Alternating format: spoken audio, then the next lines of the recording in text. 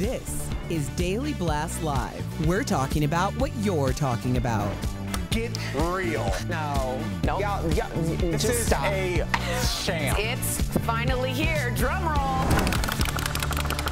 Welcome to DBL. Happy Wednesday, everybody. Stephanie Jones, fresh off the plane from San Juan Capistrano.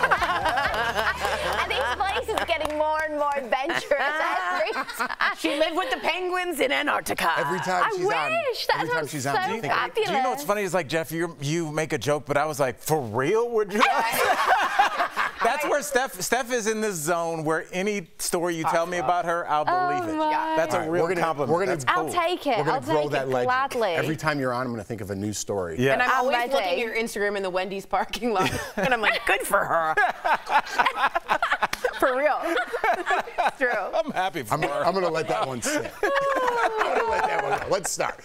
Welcome to DBL. All right, we talked about former NFL player Michael Oher on yesterday's show. Everybody's talking about it. And now the Tuohy family is responding to the lawsuit with some shocking allegations of their own. So, as we mentioned, Michael claimed the Tuohy's withheld money from the film The Blind Si- Blind Side and tricked him into signing a document making them his conservators and not their adopted son. That's where things, there's a lot of confusing things, but mm-hmm. that's really mm-hmm. confusing. In a statement from their lawyer, the Tuohys called the lawsuit offensive and ridiculous. They also alleged that Michael said he would plant a negative story about them in the press unless they paid him $15 million. Ooh, a little blackmail? Mm-hmm. Huh? And that mm-hmm. Michael is trying to drum up attention to promote his latest book. Meantime, some people online want Sandra Bullock to return her Oscar for playing Leigh Anne Tuohy in the movie. Oh. But her co star Quinton Aaron, who played Michael, says her brilliant performance shouldn't be tarnished by something that has nothing to do with her whatsoever. Wh- Why are we even talking about insane, mentally ill people online giving their opinion about something that has no credence whatsoever in reality? Because that's called pop culture. That's not, that's the voices of pop culture, unfortunately, which is ridiculous. I don't think it's the voices of pop culture. I think it's the voices of like a really sad, low-life society they that are the same. They are the same. they are the same. But what But why are we giving it? Why are we making it real? Why are we giving it a pulse? The last three years were fantasy camp for these people, and some of their ideas actually got through while they were spinning around in a tutu in their basement between typing. Their ideas got through to people in our business. There's people that are fired now. People that weren't qualified to take jobs are taking jobs. Now they can't get rid of those people. We need to stop. Like when we get a, whenever crazy people write on the internet, you just have to block them and then move on with your Yeah. life. I think what scares people is the sheer number mm-hmm. and like how these things can gather momentum. And if you're a person that doesn't really understand the internet, the, like we do, or especially people younger than us do, you might look and be like, seven million people want her to give her her Oscar back. That's seven million people that But may is have. it? Y- Yes, Or is but it out of there's four? eight billion people, right. Yeah. Right. And you know who knows who has multiple accounts? Who knows if And those are that's parody accounts, so true. bots, and things like that. I, I think a lot of these things are ridiculous, but on their face, they appear to have some merit. So these big networks panic. They're like, I don't want four million people not to watch my show.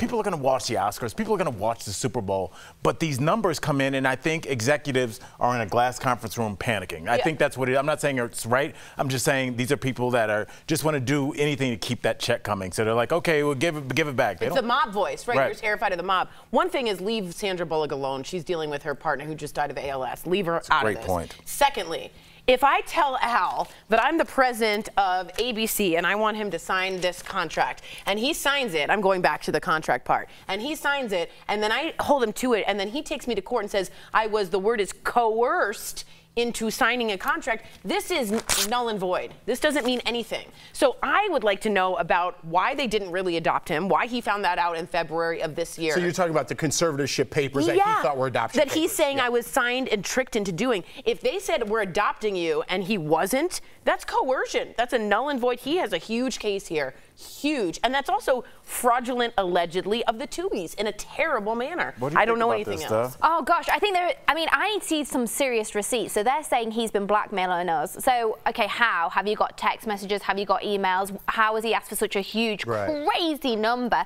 15 million is like obscene.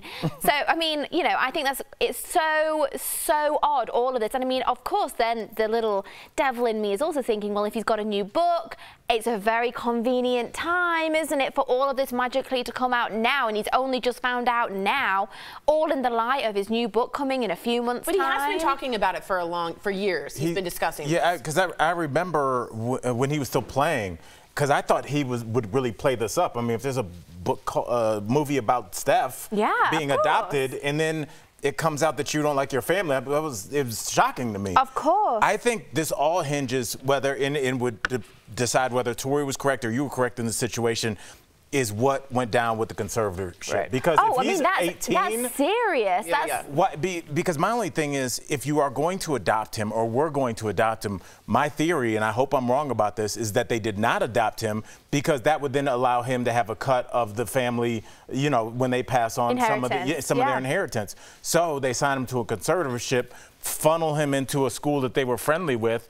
And then take his story and profit off it. That sounds bad, And I, bad. think I mean, that's it's where- I mean, it's really gross, and I hope I'm wrong. Yeah. But Yeah. that it's it's plausible. you're right, I, I hope I'm wrong, but they haven't really shown the the world eh, the, otherwise. Yeah, they're just saying this is ridiculous and hurtful. It's like, Yeah. hey, like you said, where are those receipts at? yeah, I- that's what we need to see. We need to see Exactly. some receipts on He's some released accounts. some in the lawsuit, just so you guys know. He has put out, Sean too, he has, but agreed. We need a financial accounting, what's going on. Yeah, exactly. And what's his book going to be about? Oh, Michael Oher. This sounds like The Blind Side. I know, I know. I it's don't know. be the exact Maybe He's got story. more to say. All right. I like this story. Bradley Cooper is being criticized over his portrayal of the late composer and conductor Leonard Bernstein.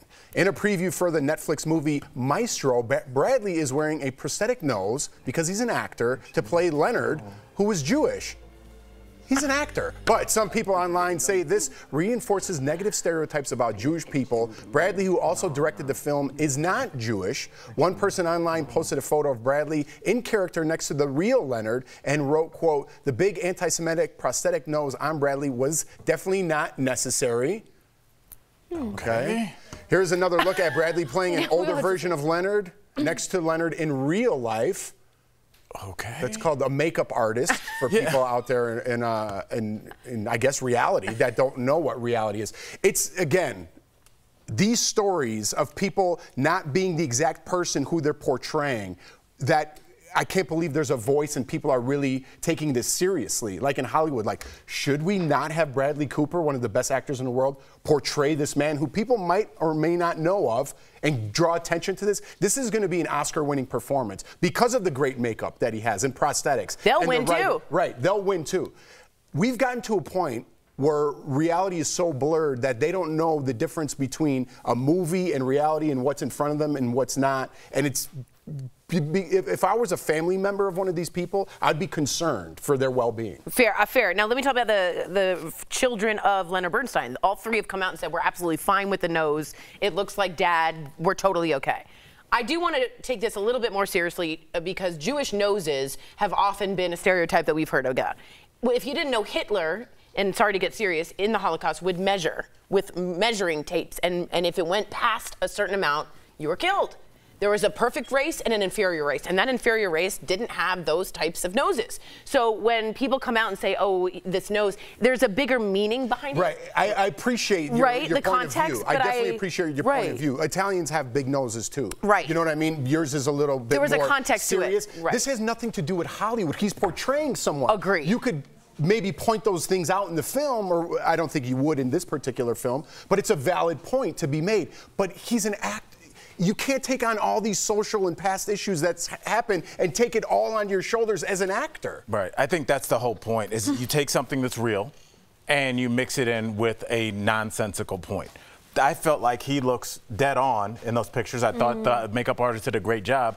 But you can't say that. So what you have to do is take a real cultural issue, the fact that uh, Jewish people have been persecuted and killed. Specifically and for the size of their noses, right. And you take that real fact that has nothing to do with this film and then incorporate it and put it out on social media. That's And- where I see we. Uh, we I mean, Tori, how do you feel? As oh my God! In sixth grade, I could play anyone on the earth, and I chose Leonard Bernstein. And if I had had a prosthetic nose, I probably would have put it on too. I have no problem with this. That's what the man looked like. If- That's if- what the if- man looked like. Are, is Halloween gone in the next couple of years? If, you because play you're not Don allowed? King, could you put his hair on?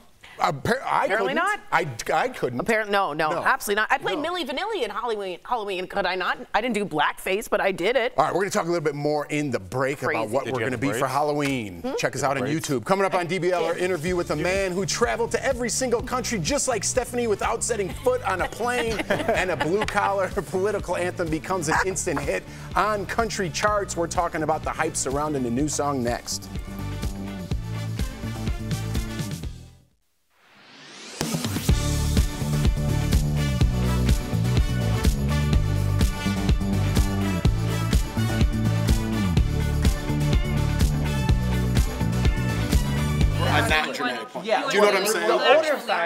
Side, I. We're on? Sorry. So. Jure, our makeup artist, is talking about the prosthetic Special nose. effects wise, like not because of like anti-Semitism or anything like that. That nose was just bad. It was just a bad nose. As a professional. But here, let me make let me make a, if I'm trying to make a point specifically about the nose, if I take um, Bradley Cooper, I'm going to show it not exactly like this. I'm going to show it like this, so it's not as big.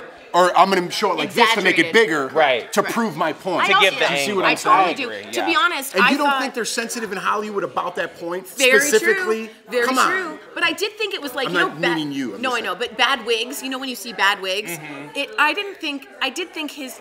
It didn't have to be. S- It didn't look exactly identical. I'll be honest. Again, Jure take the angles. You're right. the angles. You're right. But you're right. Right. The- It could be the, the angle. older angle. Right. Did look If you're a proving better. a point, you want to make it look worse. Yeah. I guarantee you they took the exact dimensions of of what it was. Probably. Because no, you you have did. to. If Yeah. you didn't know him, by the way, he created Candide Yeah, and you see West how Side you're just Story. getting to this? This is my so you know. point. This is how art dies. Right. The fact that you guys have squares arguing about like stuff that they could never do, which is apply a prosthetic nose. People that are more skilled at anything than they will ever Right. be. We're not talking about the merits of the film. We're not talking about the lighting. Or We're not him, talking about the Leonard Bernstein. cinematography. We're not talking about the storyline. We're not talking about any surprises or any uh, th- things that we supposed to expect be a to see great from the movie, too. director. This is how art dies: is when you just have people talking about these points that are inarguable. I don't understand what's the point of this. So, are, do they? I just we worry we'll get scrap to a the point film? where literally, unless I mean, race is one thing, right? I really do feel like that, but I feel like you know, obviously, I'm not, I can't play a black woman, obviously. Right.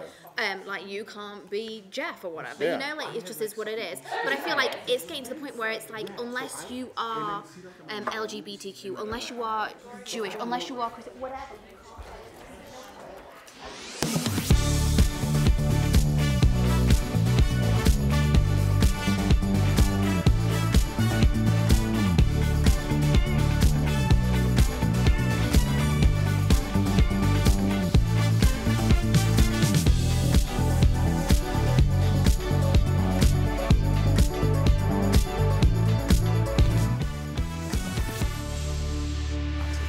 Welcome back to DBL. A country singer from Virginia has been hailed as a voice of the working class frustrations by some conservatives. Oliver Anthony's song Rich Men North of Richmond has 15, it's a clever name. That is a good 15 name. million views on YouTube. Uh-oh. I just said that without Yeah, knowing the story. you're terrible. Look what Jeff said. I'm the crazy person in the tutu he was talking about. Anyways, and this song's topping the charts on iTunes. Here's a bit of the song.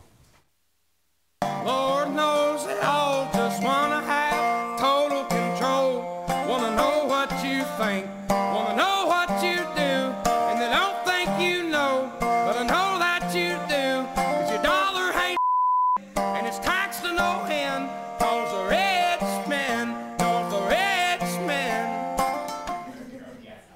his song also makes references to Jeffrey Epstein. Oh, and obese people making or milking the social welfare system. But as That's you can see me. from his performance in North Carolina, has that resonated with a lot of people. Can I just be very clear, and then I want to get to Al? Richmond, north of Richmond, if you didn't know, D.C. and Richmond. He's talking about the people from Right. Washington, D.C. That's why it's clever. Right, Yeah. and if you didn't know that and you don't know where Richmond is, you don't have any idea what he's talking about. So he has claimed that he is m- centrist, and he is only talking about the rich fat cats in Washington, D.C. with these lyrics, not about the everyday people. Please, I think just that's wanted a great. to. I, Al, he lost with out. that lyric, Literally. I think that's a great lyric for a song.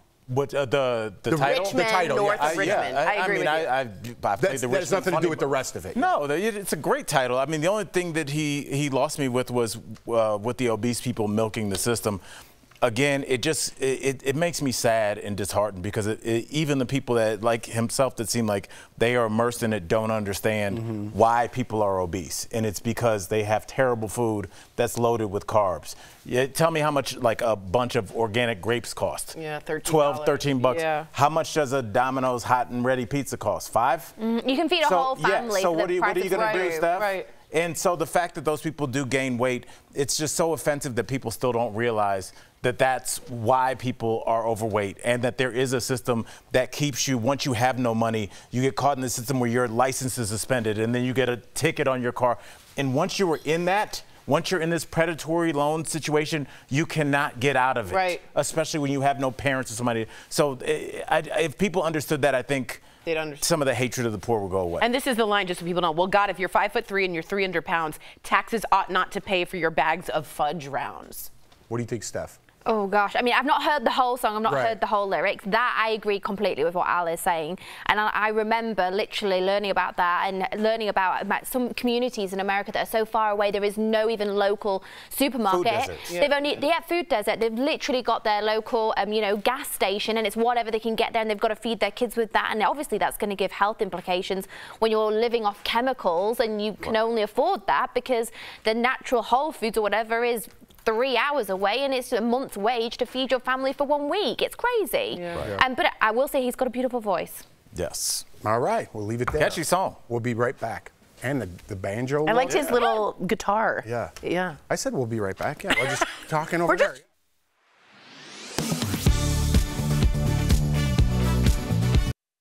More than 3.7 million people hold Parent Plus student loans, federal loans that parents can take out to help their child pay for college. We recently verified that those loans were excluded from the Biden administration's new income driven repayment plan known as SAVE, which will forgive some student loan borrowers' balances after between 10 and 25 years of payments. Verify viewer Terry asked us if there are other loan forgiveness programs available for Parent Plus borrowers. And using these sources, we can verify that yes, there are. But there's a catch. Federal Parent Plus loans have to be consolidated in order to qualify for forgiveness under these other federal programs. Let me break down your options. First is the Income Contingent Repayment Plan, or ICR. Under this program, qualified borrowers can have their monthly student loan payments reduced based on their income and family size. ICR plans cap monthly payments at 20% of your discretionary income, or offer fixed payments based on a 12 year loan term, whichever is lower. And after making payments for 25 years, any remaining debt will be forgiven, according to the Education Department. Another option is the Public Service Loan Forgiveness Program, or PSLF. To qualify, the Education Department says Parent Plus borrowers must work full time in a qualifying public service job. The student loans must be consolidated into a direct loan, and those loans must be repaid under an ICR plan. After making 10 years worth of payments, totaling 120 payments, any remaining debt is forgiven. To apply for the Income Contingent Repayment Plan or the Public Service Loan Forgiveness Program, go to studentaid.gov. With your Verify, I'm Ariane Till.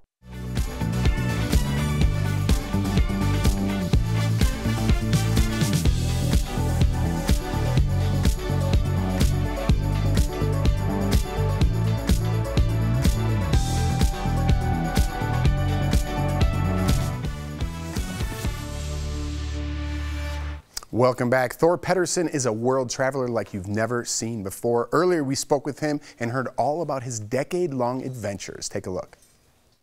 If you think you've traveled a lot, chances are Torbjorn Thor Pedersen has you beat. I was born in Denmark in 78. I've just always had a keen interest in, in, in travel. And Europe is small. And if you want to go skiing, you can't really do it in Denmark. Then you travel through Germany, you go to Austria, you go to Italy, you go to Switzerland. Several tours in the military and a job in logistics sent Thor to many new places. I worked uh, a year in Bangladesh, I worked in Kazakhstan and Azerbaijan, I worked in the Arctic Circle, I worked in Greenland, I worked in Florida, worked in a number of European countries. But 10 years ago, he embarked on an incredible journey to visit every country in the world without flying. Well, it all began with an email from my father back in January 2013. And I read about people who had gone to every country in the world. And I wasn't even aware you could do such a thing. I discovered that no one had done it completely without flying. And for me, that was pretty big.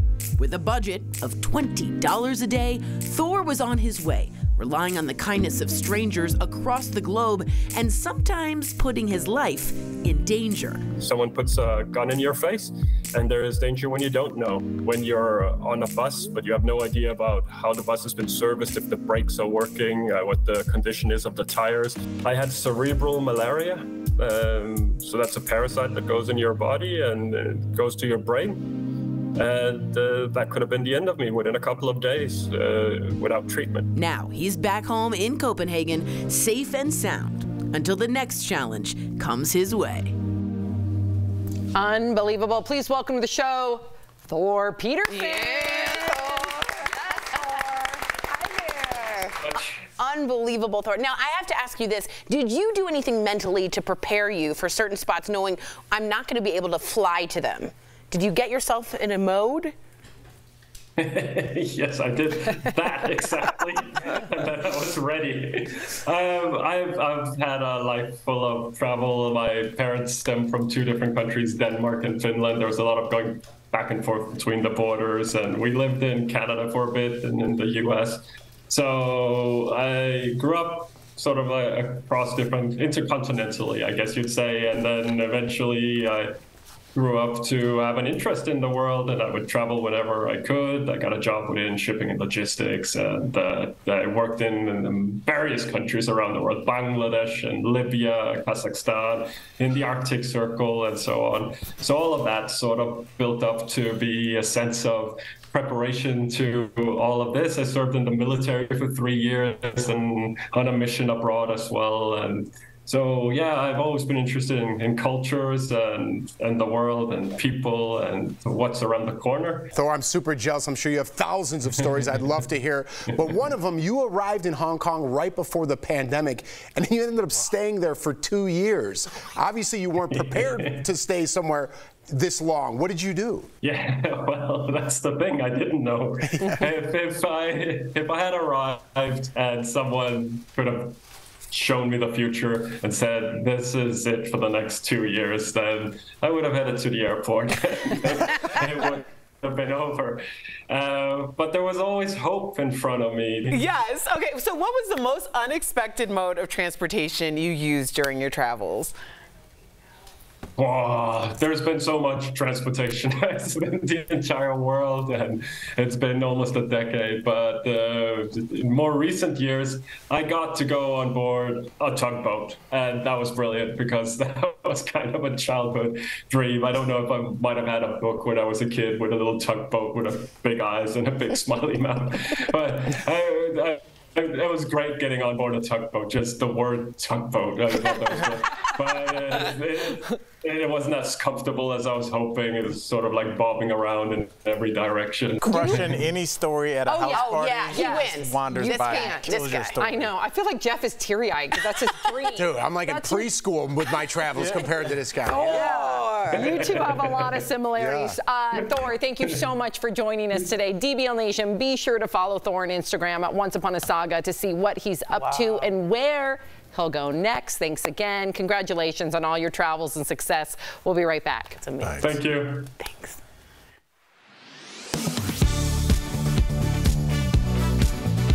Nearly 100 people dead, a community with centuries of tradition destroyed. The Maui fires are among the most catastrophic in American history. As many people look to see how they can help, we've been getting some questions about online donation platforms. Namely, does GoFundMe take a cut of the donations? Several of our viewers wanted to know, so let's verify. Our sources are GoFundMe and Charity Watch. The answer is yes, GoFundMe takes a cut of donations. For each donation to a fundraiser, the company automatically deducts a 2.9% transaction fee plus an additional 30 cents. So if you and 14 friends each donated $100 to a fundraiser, of the 1,500 total dollars, 1,452 would go to the cause and 48 would go to fees. A lot of that money goes to covering the cost of securely processing the transactions. Some of it goes to just growing GoFundMe's business since it is a for-profit company. Laurie Styron, the executive director of Charity Watch, told us these fees aren't out of the ordinary. Maintaining the programming and security necessary to process transactions safely and to protect a donor's data is expensive, so charging reasonable fees to provide such services is justified, she said. Other crowdfunding platforms like Kickstarter, Indiegogo, and Facebook typically charge similar fees. With your Verify, I'm Casey Decker. Are you skeptical of headlines and what you see on social media? We are too. The Verify newsletter helps you distinguish between true and false information by answering your questions.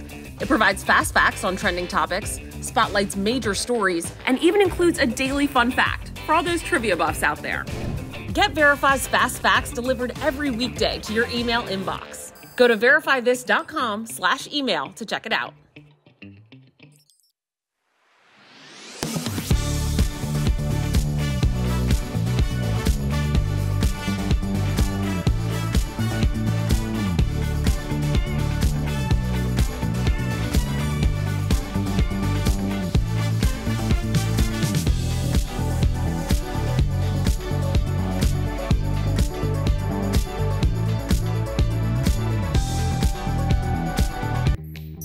Verify here with your fast fact. This viral video with more than a million views claims to show three UFOs flying over New Mexico and asks, Do you believe the footage?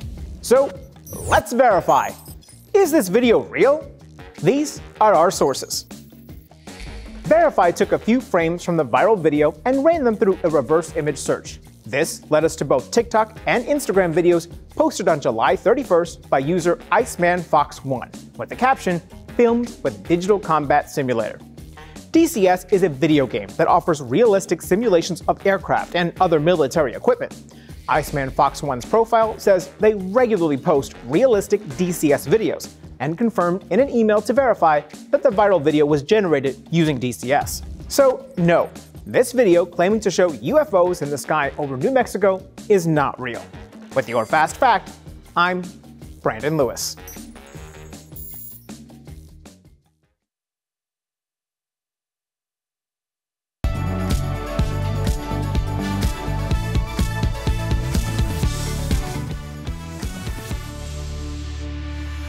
Welcome back. Joint pain doesn't have to be the ending to all the activities you love. There are lots of hobbies that have little to no stress on your joints. It's time for some joint and muscle support brought to you by Omega XL.